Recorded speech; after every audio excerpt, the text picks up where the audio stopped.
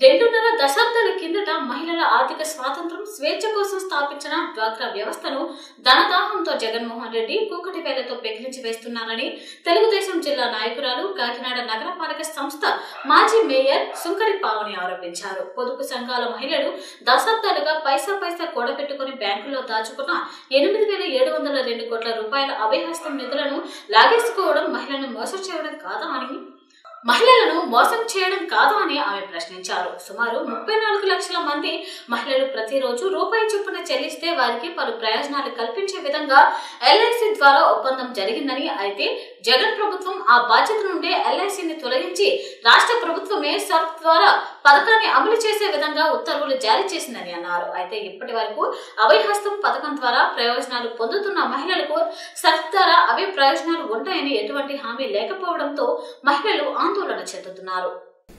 ఉమ్మడి ఏపీలోనే ప్రారంభమైన ఈ పథకం దాదాపు నాలుగు లక్షల ఇరవై ఒక్క వేల మంది ఐదు వందల నుండి రెండు వేల రెండు వందల వరకు పెన్షన్ పొందుతూ వస్తున్న డబ్బు డబ్బు.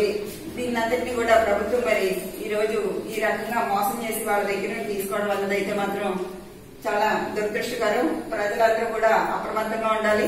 ఎందుకంటే ఈరోజు డ్వాక్రా సంఘాలు కానీ డ్వాక్రా మహిళలు దాచుకున్న డబ్బులు కానీ ఎక్కడ భద్రత లేకుండా పోయిందన్నది అయితే మాత్రం వాస్తవం. మహిళలు శాశ్వతంగా ఉండే పొదుపు గుణాన్ని ఎప్పుడో చంద్రబాబు నాయుడు గారు మరి గుర్తించి పంతొమ్మిది వందల తొంభై తొంభై ఐదులోనే స్వాగర గ్రూపులు ఏర్పాటు చేయడం జరిగింది. మహిళలు ఎవ్వరు కూడా ఎవరి మీద ఆధారపడకుండా కుటుంబానికి మరి ఆర్థిక భరోసా కల్పించే కల్పించుకునే విధంగా ఎదుగుతా వస్తా ఉన్నారు.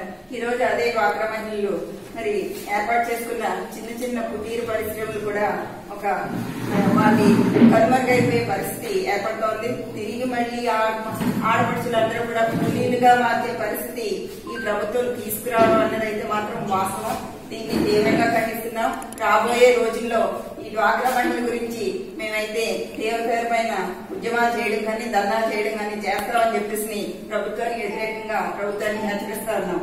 ఈ రోజు మరి నవరత్నాలు అని చెప్పేసి మీరు చెప్తా ఉన్నారు. అవైతే మాత్రం ఖచ్చితంగా నవమాసాలు నవ మోసాలనే చెప్పుకోవాలి.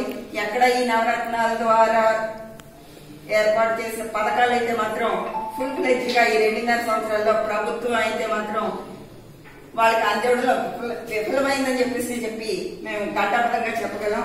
అదేవిధంగా ఈరోజు ఓటీఎస్ సిస్టమ్ అని చెప్పేసి వన్ టైం సెటిల్మెంట్ అని చెప్పేసి తీసుకొచ్చి ఏదైతే ఇల్లు ఎవరైతే ఉన్నారో లబ్ధిదారుల దగ్గర నుండి రిజిస్ట్రేషన్ చేయించుకుని పక్కగా మీకు ఇల్లు సొంతం అవుతాయని చెప్పేసి ఇరవై వేల రూపాయలు వాళ్ళ దగ్గర నుండి వసూలు చేయడం జరుగుతుంది. మరి కాకినాడలో ప్రత్యేకంగా చూసుకుంటే మూడు వేల రెండు వందల డెబ్బై ఏడు మంది లబ్ధిదారులు ఉన్నారు.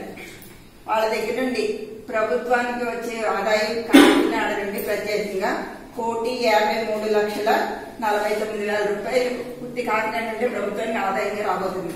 అదేవిధంగా చూసుకుంటే ఆంధ్ర రాష్ట్రం మొత్తంగా మరి ఎన్ని కోట్ల రూపాయలు సామాన్యుడిని అడ్డి వేచి మరి ఈ ప్రభుత్వం లాక్కుంటుంది అన్నది కూడా అందరూ తెలుసుకోవాల్సిన అవసరం ఉంది. ఎవ్వరు కూడా రాబోయే రోజుల్లో తెలుగుదేశం పార్టీ రావడం ఖచ్చితంగా ఉంటుంది. వచ్చిన తర్వాత చంద్రబాబు నాయుడు గారు ఇచ్చిన హామీ అయితే మాత్రం మీకు అందరికీ కూడా మీడియా ద్వారా తెలియజేస్తున్నాను. కాకినాడ పట్టణ ప్రజలందరికీ కూడా.